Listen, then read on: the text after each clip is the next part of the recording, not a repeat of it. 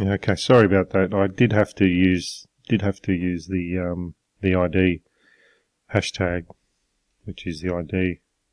The dot is for the class, but for some reason it I didn't use because it showed the error there, so I didn't use it. But I put it back in there and then it worked. So it still shows it. Something I need to sort out with Atom.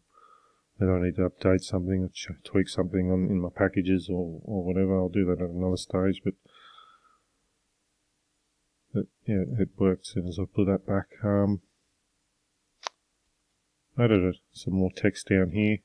I just changed it up and added a H1 there. What we'll do on this one is um, we'll add some Google fonts. Just dress it up a little bit. Let's change a new fonts, new style. So we head over to Google Fonts. I've selected, had a bit of a browse. I'm going to select this one here and there it is there. All you do is just hit the plus. I've already done. Hit the plus, press on it. We copy that link, and then we just paste that in our header section in here.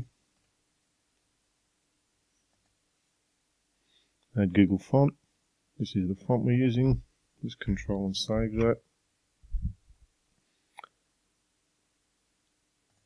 And I want to change the H1 on the top, which had a class of welcome to H1 here, top script. So we go to top script,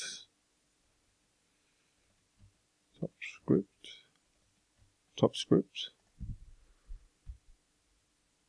and we want to go back to Google Fonts and we we want the CSS.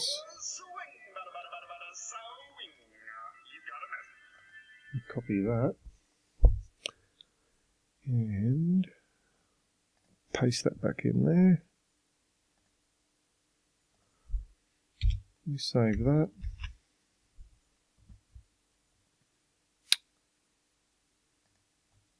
And we head over to the site, we refresh that, and there we have it added a Google font.